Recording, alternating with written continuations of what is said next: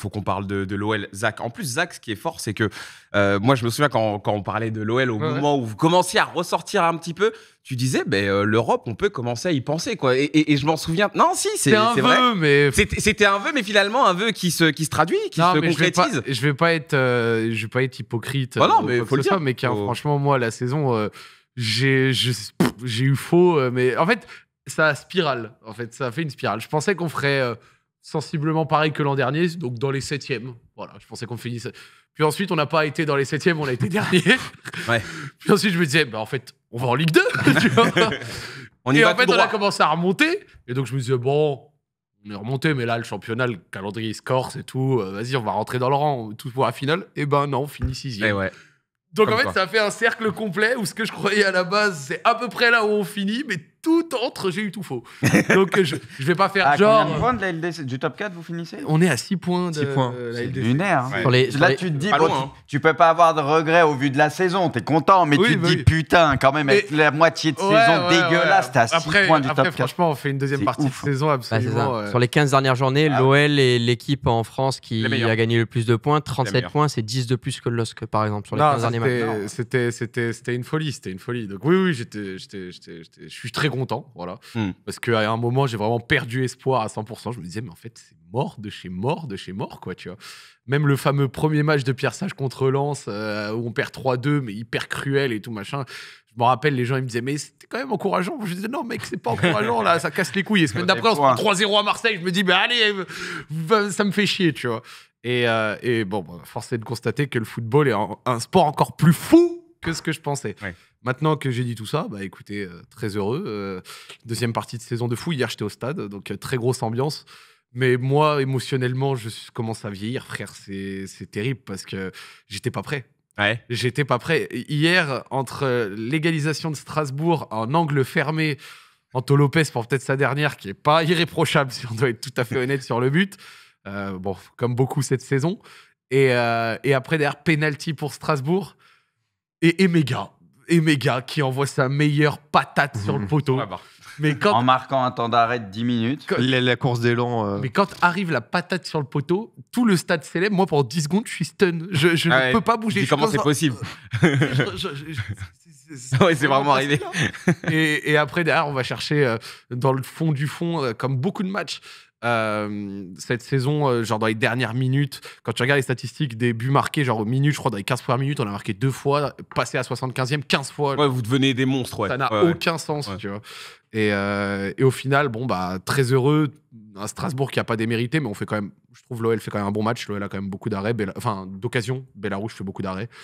Et, et en fait, on, est, on, a, on, est vra- on a vraiment eu un scénario, on était capable d'être sixième comme huitième, tu vois. Ouais. Et il faut voir qu'au moment où on se fait égaliser, j'apprends que Marseille marque, au moment où il y a penalty, Marseille met Ah le non, on a eu 2-0. double écran, nous. Donc on Ce commence à se dire, oh là, La ça courbe, sent j'avoue, le cul. Elle. Et la, et la lance à la mi-temps gagne 2-0. Je me dis, non, c'est impossible, frère. 2-2. Faut arrêter les conneries. Et bah, quand même.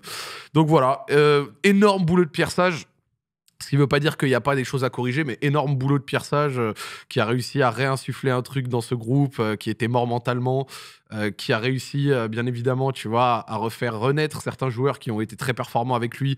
Chai Tatsar, Maitland Niles, Mama Baldé. Mm. On peut en citer, tu vois, plusieurs qui n'étaient pas dans un les groupe plans. qui fonctionne bien, Bah, où qui tout était- le monde, même quand il rentre, est concerné et fait le boulot. C'est ça, qui n'était pas dans les plans ou dans les quatre euh, ou dans les quatre premiers mois, qui n'était pas trop dedans. Bah, au final, là, ça l'a fait. Moi, contrairement à beaucoup de, de- de personnes ou même de Lyonnais qui veulent contredire ça comme si c'était une honte, mais les, les recrues du mercato d'hiver nous ont beaucoup apporté. Euh, en fait, c'est simple. Quand tu regardes oui. depuis février, littéralement, les recrues ont un apport direct en statistiques pures, et je parle même Ouais, pas d'apport ouais, dans ouais. le jeu. Ils ont un, un impact positif sur plus de 10 matchs. Euh, hier, la passe décisive, c'est Benrama. Le penalty, c'est Fofana. Lille, tu as euh, un but de Benrama. Monaco, but et passe D de Benrama. Un but de Malik Fofana également. Gift Contre Nantes, Orban qui marque Fofana aussi. Et, crois, et- Gift Orban à truc, machin. Perry en Coupe de France, euh, la, la- la séance de pénalty contre Strasbourg. Donc, bien évidemment que les recrues ont un impact. Même si elles n'ont pas eu un impact forcément direct sur le 11 où il y a essentiellement quasi que Matic et Benrama qui jouaient régulièrement. Matic, même si ses tout derniers matchs étaient moins, moins ouf, au global, il nous a apporté beaucoup. Et Benrama, même si pour l'instant ça peut être encore mieux, statistiquement parlant, 3 buts, 4 passes D en 3 mois. Ces derniers temps, il était vraiment bon et décisif, je trouve, Benrama. 3 buts, 4 Ouais, il passes D pour un ailier gauche en, dans des matchs décisifs, etc. Même s'il rendait pas les meilleures copies, et même si on a vu des meilleures versions de lui, bah, c'est quand même pas mauvais, tu vois. Mm. Donc, euh, un mix entre un Pierre Sage, un groupe qui a regagné en qualité et où tout le monde était concerné, où franchement, certains mis de côté ont aussi pas trop cassé les couilles, si on Ouais. est tout à fait honnête, qui se rappellent de Sinali Diomandé, Pas trop. qui se rappellent de Johan Le Penant. Qui se rappelle de c'est Dejan vrai. Lovren. Mais c'est vrai en vrai que Diego, comme ça. Diego Moreira, alors lui, Ouais. on l'a renvoyé. Mais tu vois, genre, c'est quand même un délire. C'est des joueurs qu'on n'a plus vus, qui, qui sont morts en fait. Tu vois, genre, on les a plus vus depuis des mois. Et pourtant, bah, ils ont pas. Enfin, tu vois, ce groupe n'a pas pâti de- de- de- de- du fait qu'ils ne jouaient pas. Donc euh, voilà, pour le coup, très content. On retrouve l'Europe. Ça va beaucoup aider, que ce soit les finances ou alors pour le projet sportif.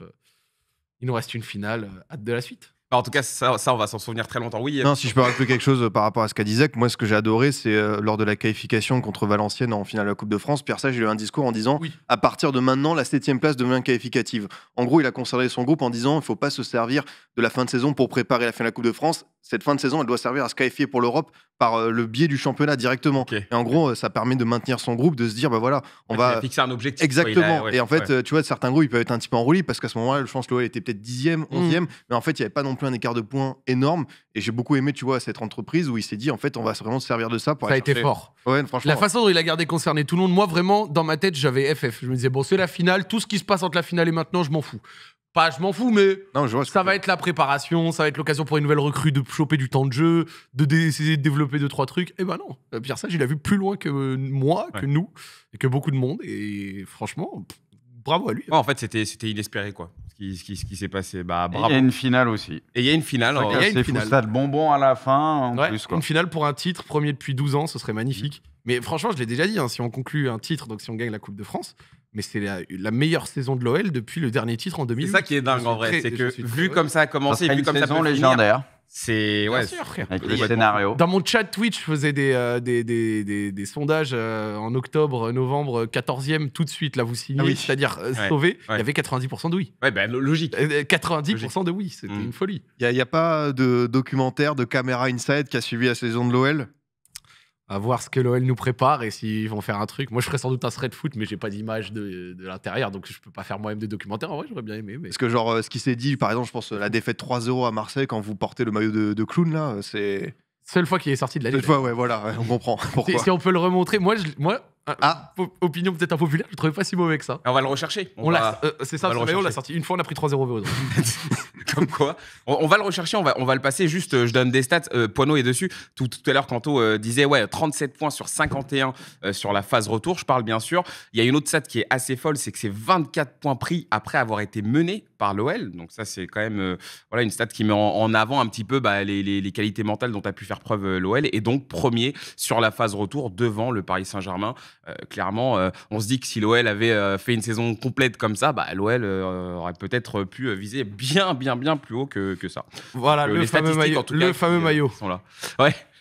Tu l'aimes bien, Zach, celui-là? Il est pas exceptionnel, mais franchement. Il l'a revu là, il a dit il est pas exceptionnel. mais- Non, je le trouve vraiment pas si mal, pour être honnête.